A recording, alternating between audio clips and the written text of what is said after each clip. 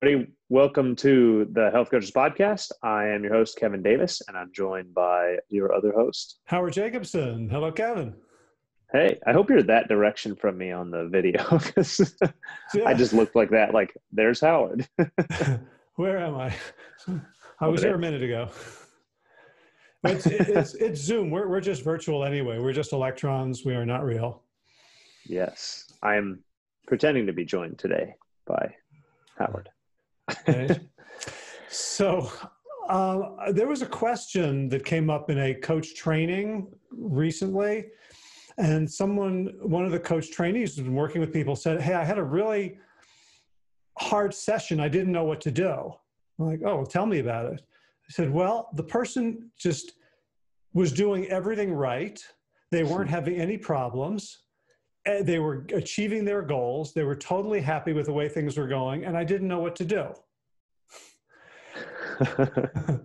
so it's funny, like that was a hard coaching session. Yeah. Right. So let's. What what what do you, what do you think? What what do we do when something like that happens? What do we or what should we? I well, think we mostly overthink it. yeah. Ideally, like what? Yeah. Um, I mean, the first thing I want to say is that's okay. Yeah. right? yeah, I mean it's good if we, you know, if they're doing the thing that we're essentially getting paid to help them do. Uh you know the thing that that comes to mind to me and it's and it's interesting that this is the topic that we decided to discuss because i kind of had this in my head a little bit today um, that we say all the time is if you're working too hard or if you're if you're working you're working too hard. Yeah. And and i think it really applies here because we want to be doing something and you know ap- applying some you know magical tool to uh, to to make something seem uh, new and shiny and and interesting to the person in every conversation. Uh, but in reality we're helping you know our real role is to help them do the things that will lead them toward the goals and that's you know in this case that's what apparently was happening already yeah so I think the, you know the first thing i want to say is like awesome yeah. right and yeah. i think part of it comes from we we live in a time for money culture hmm. yeah. so a lot of coaches charge by the minute essentially right right? Well, if you want to work with me for, for once a week for half an hour, it's this much. If you want an hour, it's this much. If you want one session, it's this much. So we think of it in terms of we're getting paid for our time. Mm-hmm. And that's how I used to think too. And when I was when I was working with a lot of corporate clients uh, and entrepreneurs who are incredibly busy people, mm-hmm. and they would often cancel the call. I, I used to coach for an hour, and like they didn't have an hour they're they're having a crisis of the day, and I'm sitting there going, "Boy, you know, you'd be so much more effective if you just talked to your damn coach." And and of course, you know, they they knew what they needed, and when I discovered, when I learned and practiced how to get results in 30 minutes, uh, my first thought was, "Well, I'm going to cut my rates in half." and then my second thought was, "Are you nuts?" Like you've just become more valuable right? And and and at that level people understand that, that they're paying you for results. And in fact if i were able to do it in two minutes they should pay me even more not less. Right. well yeah because you're not only are you accomplishing the goal but you're also saving them 58 minutes. And just imagine especially at that mm-hmm. level when you're doing that type of coaching what can they do with that 58 minutes Right. And, and, and, of course, there's never 58 minutes, but going from an hour to 30 minutes, you know, as yeah. Peter Bregman points out, you're also modeling a bias towards action that can be very helpful to other people. If we're relentlessly focused on efficiency and progress and action, that's contagious. Hmm. Yeah. So the first, you know, the first thing I would say to people is like, that's not a problem. And you, you know, you could, you're still earning, like people are worried, like, well, what if they don't think they're getting anything out of it? Well, it kind of depends on how you market yourself. If you market yourself as the more time you spend with me, the more valuable it is, um, you're setting yourself up for that. If you market yourself as these are the results you're going to get, then them coming in and saying everything's working perfectly, means that you're you should feel better about yourself and not worse because you can't help them in this moment because they don't need any help. Then you could just say, "See, I told you." yeah. there's nothing wrong with saying, "Great, should, should we should we set up a time for next week?" Yeah, you or, know, and I, yeah, go ahead. You know, well, I was just going to say, like, I would maybe in that case, and, and I do this with the to the text coaching even. I kind of lean toward uh, the fast assessment that we've mentioned recently. Uh, was that last week, maybe even that we talked about the fast assessment? I lean toward doing these positive fast assessments. Like, okay, great, you're doing all these things. What's a specific time that we can talk about in the last week or or two weeks since we last spoke, where you were successful at achieving a goal of yours or, or at fighting through, you know, in a particular situation, and let's do an assessment on that and try to learn from the positive. Yeah, I think uh, you know there's a whole branch of consulting called appreciative inquiry, which was based on the revolutionary idea that we learn more by looking at our successes than by looking at our failures. Right. And we see this all the right. time in coaching that if we ask someone, okay, I can't plan ahead to make my food. Is there any area in your life where you do plan ahead and it works? Hmm. oh, yeah. You know, my finances, our vacation, right? And then they'll give you their recipe for planning success. So I, lo- I love that. We've even, we've even coined a name for it, uh, the fun fast. Yeah. Right. As opposed to the uh, another fucking fast assessment, which is the thing that they don't, you know, like, oh, you know, I screwed up again. I ate a pepperoni pizza. Now let me dig deep into the shame to discover what happened. But there's no resistance to you did awesome. Let's let's uh, deconstruct that and learn something the, the the thing and the reason why I go towards something like that too is that I don't want to just be a cheerleader and say, you know, I mean, of course, I do want to celebrate with a with a woohoo. You know, you you did what you set out to do this week, but I don't just want to be there to say rah rah, you did it. I want to actually, you know, accomplish something and gain some benefit out of, um, you know, what they're doing. And so you know the other thing to me that comes to mind is you sort of mentioned how you market yourself and this kind of comes down to sort of a business thing as a coach do you sell okay one session is x number of dollars and if so how much is it supposed to last or do you sell i love doing things on a monthly basis or on a you know a uh, periodic basis rather than a session by session uh, sort of a payment? Um, yeah, because again, we're what what are we really selling? Right, we're not selling spend quality time with me. Yeah. right. This isn't you know this isn't a massage. Yeah. I, I was just reading about uh, cuddleries, which I guess have gone away in, in COVID. It's like a business where people will just cuddle you in a non-sexual way because we all need hugs and cuddles and people are lonely and you know it's yeah. good for your health um, yeah. But like I could see doing that on on a, on a you know pay for time basis. Right. But but the reality is that coaching the the time that I spend with my clients is the least important time. Yeah. Right. It's it's what they it's like a piano teacher. Right. It's if they don't spend any time practicing between lessons, it doesn't matter how good the piano teacher is. Right. Um, Right. So I think you know there's there's a few things we can do when there's nothing to do.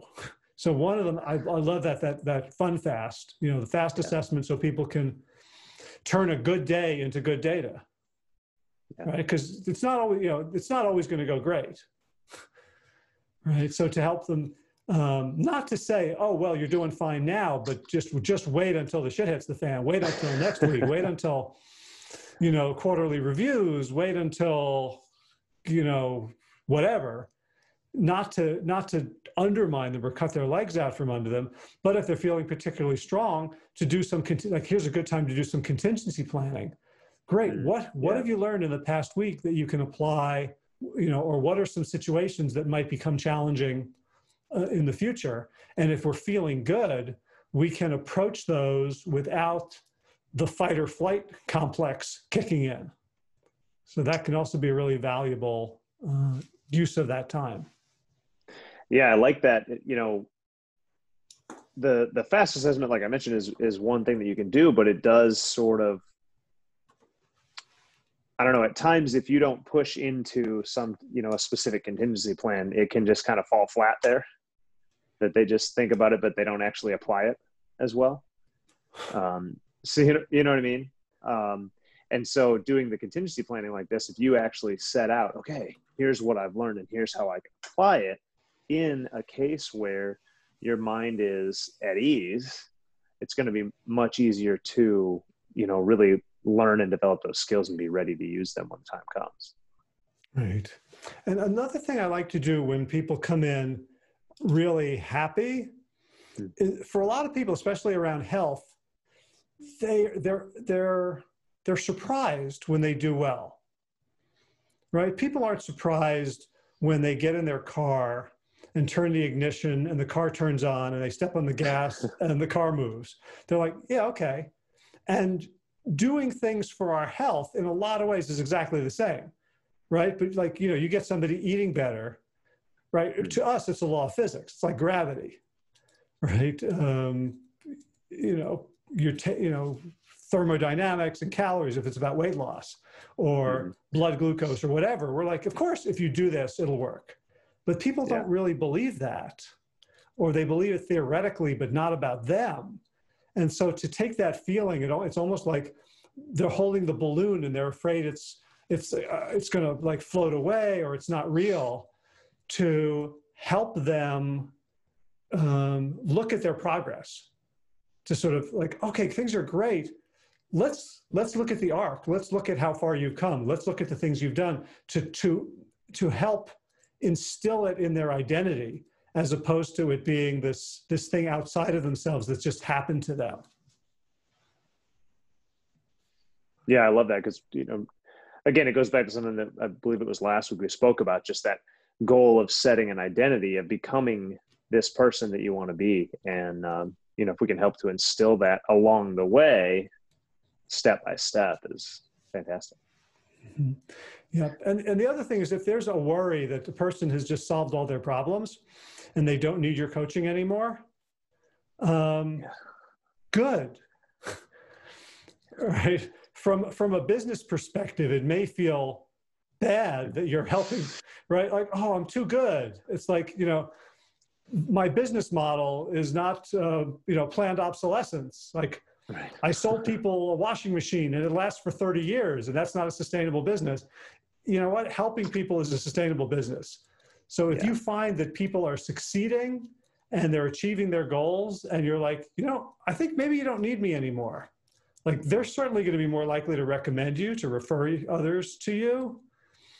And just having the confidence to know that you're sort of good at what you do will make you much more attractive. So it's hmm. being good is not a marketing problem when you're a coach. It might be good. It might be a marketing problem if you're selling a, a hard good and you know right no but there's you know in in what we do there are plenty of people out there to help and you know so essentially striving toward working ourselves out of a job is really kind of the goal yes yes so. to, to so to for us to honestly celebrate their independence like their success really means we're doing our job and you know, we can always explore. All right, you've done great. Is this all there is, or is the person you are now looking to new horizons? Are there are there bigger mountains you want to climb, and can we work on together? Right, and you may find that's the case. I mean, I know for myself, that's that's always been the case. It's like at first it's let's get a little healthier or let's lose X number of pounds, and then all of a sudden you lose some of those pounds. You're like, oh well, I want to, you know, run ten miles, or I want to climb that big mountain or whatever it is and there's always a new goal or a new higher loftier goal that you can work towards right yep and the other thing i'm thinking about right now is a lot of times when people achieve new healthy behaviors they do it at the expense of other healthy things like social things like okay now right. i've really gotten this this thing under control and i'm not going out on Wednesday nights to the bar with my friends. I'm not hanging out at the break room at work because of the donuts. Yeah. Um, and I would encourage people at that point to up your social game, to reintegrate the healthy, the soft determinants of health, not necessarily the specifics. Okay, I'm running and I'm eating broccoli. But if there are ways in which you had to separate yourself from others in order to do it, you know, maybe you're you're really happy because you're you're healthy, your blood glucose is good, um, your C-reactive protein is down, you're feeling better, and you're not you're not entirely like thrilled with your life, right? Like you're a little depressed or you feel alienated. Like those are also determinants of health that we can right. uh, that we can help them with. And people often, you know, people don't think about those things as much as they think about the discrete, concrete, uh, reductionist uh, determinants like like food, food, and exercise. But who really wants to uh, be so much healthier and live longer if you're not going to yeah. enjoy it with people? yeah, yeah. So, you know, when it comes to that case, then Howard, like, do you explicitly bring that up to them and, and kind of use that as a teaching moment? Um, what will I do? I'll reflect back to them how happy they sound right now and maybe mm-hmm. say something like, you know, how's forget about the health part. How's your life going? Are you are you happy? Are you doing things you enjoy? Uh, do you have satisfying social connections? You know, and it can be a little hard in these days. Yeah. um, right, but some you know sometimes you can still get the sense that people are dissatisfied with their lives, and beyond, you know, as health coaches, I think we can go there. Be just as if you you wouldn't, you know, if you're a fitness coach, but you're you know you, you know about fitness, but then they're coming to you for fitness, you'll still talk about nutrition. Right. So I feel like for us health coaches, we should still talk about social support, um, about empathy, about altruism, uh, about finding pleasure in life, right? meaning, connection, because that's also directly uh, a determinant of, health and longevity. Mm-hmm. Yeah, I mean, we discussed the you know the the different aspects. The the menu movement and mindset are kind of the three aspects of uh, of a person's health or of a person's lifestyle that we try to mention and and work on with them, and that's definitely part of the mindset um, in someone's life. And you know, it occurs to me that I think by the time you would get to that point, you probably have enough of a rapport and enough of a relationship built up with this person that it, it certainly makes sense that you could just you know kind of say especially the way that you present it like hey how's how's everything else going? You know how how is the social part of your life going? and, and discuss from there. Yeah. Yeah. Because um, you know as, as as health coaches we're typically paid by an individual to work on an individual but health is not an individual phenomenon right? Yeah. it's a collective phenomenon um, so to understand that as far as much as people can do on their own, there's far more that we can do together. Right. Uh, you know, and one of the things that I love about health coaching is that the people that I work with can become the lead domino in their yeah. social circles. Right. Just like, you know, you you created a group in Charleston, right? Josh started doing things in Thibodaux um, if I had any friends, I would do stuff with them here. You know, uh, you know, so Maybe. that we can. You're we not can supposed have, to do things now, anyway. No, no. So we can have much much greater leverage. Yeah. You know, on the world through working with these individuals. Well, it makes. I mean, it certainly makes um, you as an individual feel better, and and you know your life feel more complete too when you can when you can do that.